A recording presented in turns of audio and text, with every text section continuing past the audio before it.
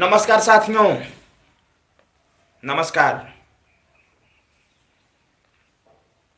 पिछले दस दिनों में प्रत्येक दिन मेरे मोबाइल में कम से कम 500 कॉल आते हैं। 500 कॉल। अब 500 कॉल आएगा तो सबसे बात तो कर ही नहीं सकता। संभव ही नहीं है। कभी उठाता हूँ किसी साथियों का फ़ोन तो जवाब यही आता है कि अनिल भाई फ़ोन काहे नहीं उठाते? क्या उठाऊं फ़ोन? जो इंसान हारने के लिए पैदा लिया है, जो इंसान ये चाहता था कि वो ये ज़िंदगी की जंग हार जाए। क्या बात करूँ मैं उससे? क्या बात करूँ मैं? जो ये चाहता था कि मेरा अंत हो जाए, उसका अंत हो जाए, मैं उससे क्या बात करूँ? जिसके अंदर कोई मान और सम्मान नाम की चीज़ नहीं है, क्या बात करूँ मैं उससे? जो अपने आप को बर्बाद कर देना चाहता था, क्या बात करूँ मैं उससे? क्या बात करूँ मैं उससे? क्या बात करूँ? बताओ तो।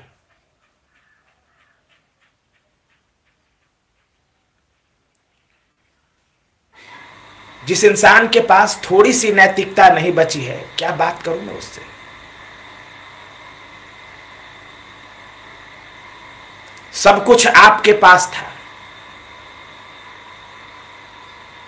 सरकार गलत कर रही थी, आप सच्चाई के रास्ते पर थे, लेकिन सरकार ने आपको पराजित कर दिया। लोकतंत्र में मालिक जनता होती है, मालिक आप थे, लेकिन सरकार ने पराजित कर दिया। पता है क्यों? क्योंकि आप पराजित होना चाहते थे। आप चाहते थे कि आपका अंत हो जाए, वरना कोई माँ का दूध नहीं पिया था, जो आपको पराजित कर देता।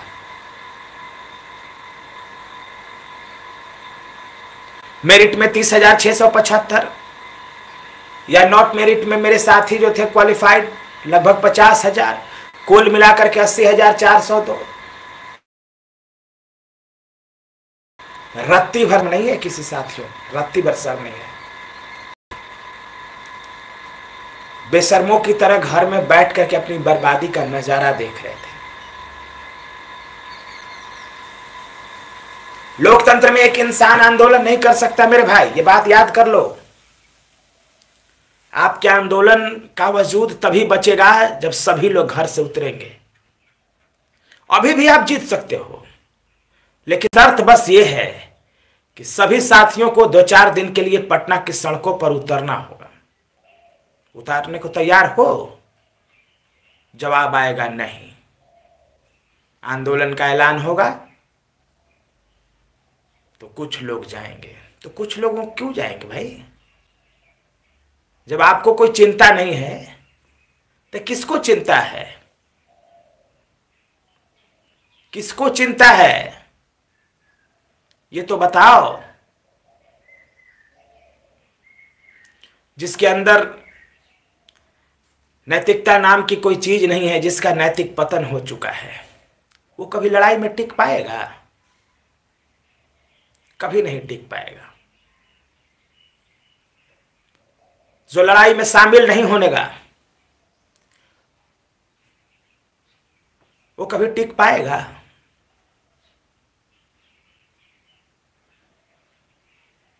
मेरे साथियों, एक बात याद करना। जो अपने आप से गद्दारी करता है ना,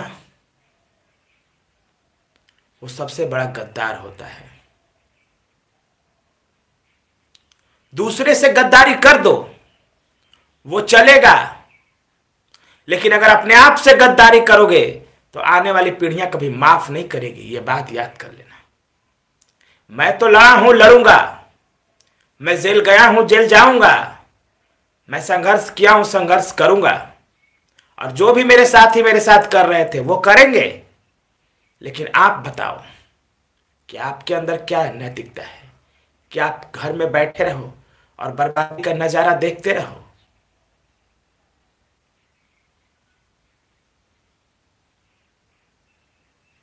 और संघर्ष हम लोग करते हैं। और यूट्यूब वीडियो देखते हो साले उन लोगों का जिनका कोई योगदान नहीं होता। जो कभी आंदोलन में नहीं आते, जो एसटीटी को बर्बाद कर देना चाहता था। आप उसका यूट्यूब वीडियो देखते हो। शर्म नहीं आता है थोड़ा सा यार। उसका कम से कम देखते क्यों हो वीडियो? क्यों देखते हो वैसे लोगों का वीडियो? जो आपके लिए नहीं लड़ता है। यूट्यूब से कोई आंदोलन जीता जाता है है।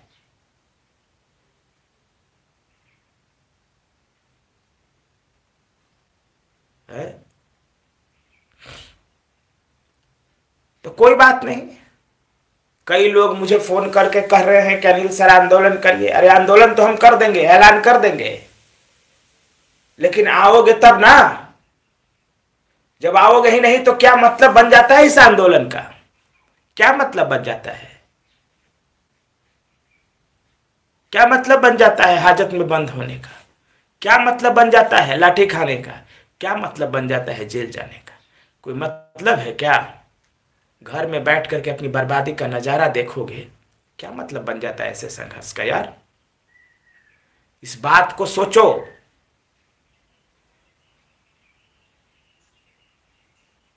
सरकार के पास कोई जवाब नहीं है। तीस हज़ार लोग अगर हम पटना की सड़कों पर और पचास हज़ार मेरे, नॉट मेरिट के साथ ही अगर हम उतर गए, कि तूने बोला था कि सबकी नौकरी पक्की तो अब हमारी कच्ची कैसे? इस विचार के साथ अगर हम पटना की सड़कों पर उतर गए तो कोई माँ का दूध पिया है जो हमको पराजित कर देगा? कोई नहीं पिया है। कोई नहीं पिया है जो हमें पराजित कर देगा। लेकिन जब मेरे साथ ही जिनके ऊपर इतना बड़ा गम का पहाड़ टूटा, वो खुद चाहते हैं कि उनका नेस्त नाबूद हो जाए। मेरे साथ ही खुद चाहते हैं कि उनका अपने आप का पतन हो जाए, समाप्ति हो जाए। तो फिर मैं क्या कर सकता इसके लिए, बताओ ना। फ़ोन पर बात करने से आंदोलन चलता है। कुछ लोग यूट्यूब पर चूतिया बनाता है रोज, अब आप सुनते हो। क्यों सुनते हो यार? क्यों सुनते हो यूट्यूब का वीडियोस जो आंदोलन में नहीं आता, जो आपके लिए लाठी नहीं काटता सड़क पर नहीं उतरता, उसका यूट्यूब वीडियो सुनते हो, पाप से गल जाओगे। उसका तुम यूट्यूब वीडियो क्यों सुनते हो? क्यों फॉलो करते हो उससे लोगों को? कम से कम उसे तो छोड़ दो। फिर कोई अच्छा काम कैसे करेगा, बताओ?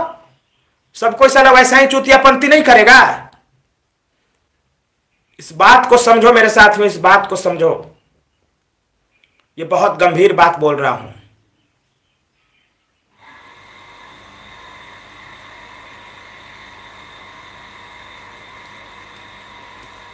कोई बात नहीं, सब लोग आपस में बातचीत करिए, क्या करना है आपको? जो होगा आप पहले मैं निर्णय लेता था तो आप नहीं आते थे। इस बार आप निर्णय लीजिए, मैं आऊँगा। सब मिल करके बात करिए। तीस हज़ार, अस्सी हज़ार लोग हैं, दस हज़ार लोग पटना नहीं पहुँच सकते तो क्या मतलब बन जाता है आंदोलन का यार? दो गो चार गो दस गो से आंदोलन होता है। है?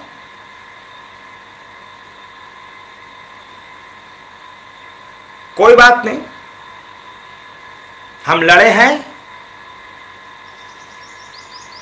लड़ेंगे। संघर्ष किए हैं, संघर्ष करेंगे।